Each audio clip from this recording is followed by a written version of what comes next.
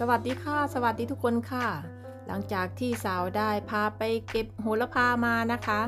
คลิปที่ผ่านมาสาวก็ได้พาทำซอสเพสโต้โหระพานะคะ ก็เป็นอีกเมนูหนึ่งนะคะที่อร่อยของชาวอิตาลีที่ชอบทำทานแล้วก็มีขายตามห้างทั่วไปนะคะ ส่วนวันนี้สาวก็จะพามาทำเป็นคลิปต่อจากคลิปที่แล้วนะคะ ก็คือหลังจากที่ทำซอสเพสโต้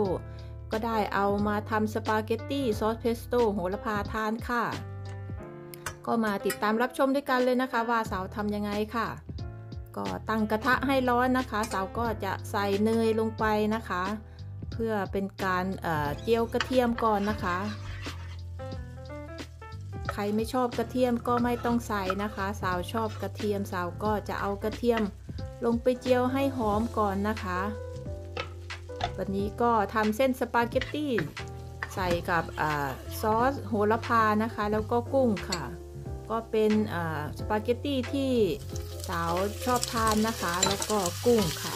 ใครเป็นมังสวิรัตก็ไม่ต้องใส่กุ้งนะคะ พอเจียวกระเทียมเสร็จอหอมเรียบร้อยแล้วนะคะ ก็ใส่กุ้งลงไปผัดค่ะ พอใส่เกลือนิดหน่อยนะคะ พอมีรสชาติค่ะ เพราะว่าในซอสเทสโต้เราก็มีรสชาติของกระเทียมใบโหระพาแล้วก็ชีสแล้วนะคะ อันนี้สาวก็ใส่มะเขือเทศนะคะ ก็เป็นมะเขือเทศที่สวนนะคะ ใส่ลงไปเพื่อให้ได้รสชาติออกมาอีกนิดนึงนะคะ ก็เป็นรสชาติของมะเขือเทศ ที่เปรี้ยวๆนิดๆนนะคะ แล้วก็สีสันสวยงามค่ะ อันนี้ก็เป็นเส้นสปาเกตตี้นะคะ ก็ใส่เส้นสปาเกตตี้ลงไปผัดนะคะ สาวต้มเส้นสปาเกตตี้สาวก็ใส่เนยด้วยนิดนึงนะคะ หลังจากที่เอาออกมาจากน้ำหรือต้มเสร็จแล้วนะคะ ก็ใส่เนยคนไปนิดนึงไม่ให้เขาติดกันนะคะ แล้วก็ใส่เนยแทนน้ำมันมะกอกอะค่ะ เพราะว่าสาวชอบกลิ่นของเนยนะคะ ก็เอาลงมาผัดรวมกันนะคะ เข้าให้เข้ากับ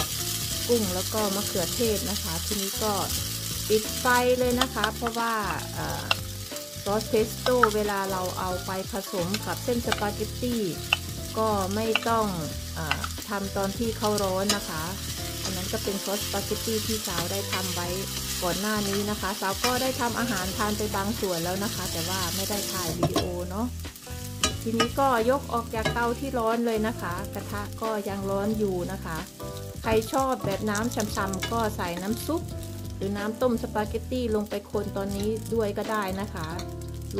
เอาลงไปคนผสมกับซอสเพสโต้ค่ะ ตอนสาวใส่ซอสเพสโต้ครั้งแรกสาวลืมกดถ่ายวิดีโอนะคะ ก็เลยมาใส่ให้ดูอีกครั้งหนึ่งนะคะ ใส่ซอสเพสโต้ลงไปแล้วก็คนส่วนผสมทุกอย่างให้เข้ากันค่ะ ตอนนี้ถ้าใครชอบแบบว่าช้ำๆนะคะ หรือว่ามีน้ำนิดๆก็ใส่น้ำต้มสปาเกตตี้ลงไปตอนนี้ก็ได้นะคะ แต่ว่าวันนี้สาวไม่ได้ใส่นะคะ แล้วก็สปาเกตตี้สาวชอบแบบแห้งๆนะคะ แล้วก็ซอสเพสโต้เขาก็จะช่วยให้ฉ่ำอยู่แล้วนะคะ ในซอสเพสโต้ก็จะมีน้ำมันมะกอกอยู่แล้วนะคะ แล้วก็ในเส้นสปาเกตตี้ที่สาวต้มก็จะมี เนยอยู่นะคะ พอเขาร้อนอก็จะฉ่ำฉ่ำอยู่แล้วนะคะ เสร็จแล้วนะคะก็มาจัดจานเลยค่ะ สาวก็จะจัดจานแบบที่สาวทำได้นะคะ ก็ไม่ไม่ใช่เป็นเชฟหรือเป็นกุ๊กนะคะ ก็พยายามทำให้สวยนะคะ วันนี้สาวก็ทำให้ลูกชายทานนะคะ ตัวสาวเองสาวทานไปก่อนหน้านี้แล้วนะคะ ก็คือสปาเกตตี้ผัดใส่กุ้งเหมือนกันค่ะ แต่ว่าจะใส่กับพริกด้วยนะคะ แล้วก็ผักอย่างอื่นค่ะที่สาวชอบเนาะอันนี้ก็เป็นทำให้ลูกชายนะคะ ก็มีกุ้งมีเส้นสปาเกตตี้แล้วก็ซอสเพสโต้แล้วก็มะเขือเทศที่ปลูกเองด้วยนะคะ ใส่ลงไปจะได้เพิ่มรสชาติแล้วก็สีสันค่ะ ใครไม่มีก็ไม่ต้องใส่นะคะ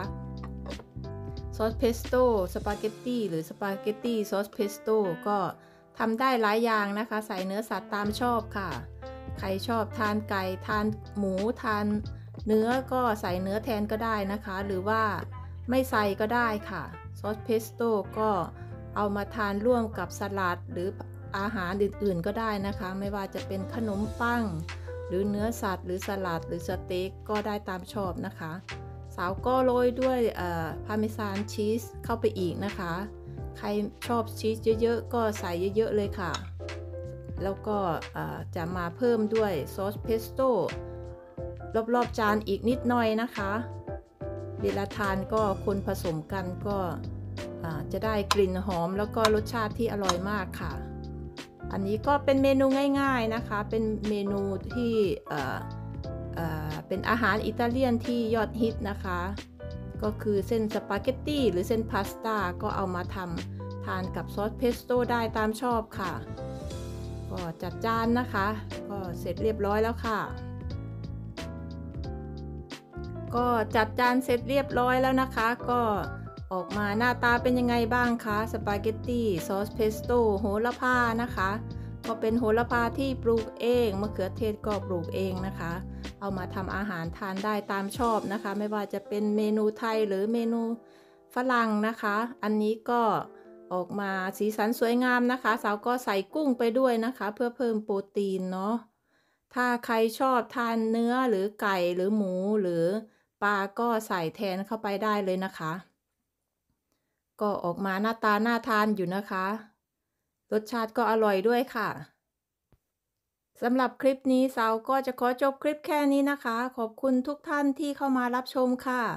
พบกันใหม่คลิปหน้านะคะสำหรับคลิปนี้สวัสดีค่ะ